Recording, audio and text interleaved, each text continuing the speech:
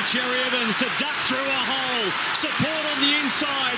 Only Milford to beat. Here is Jamie Lyon. They've gone back to back. A brilliant start from the Sea Eagles. I know there's a long way to go in this game, but just when you think the Sea Eagles are under the pump, they're there to be gone.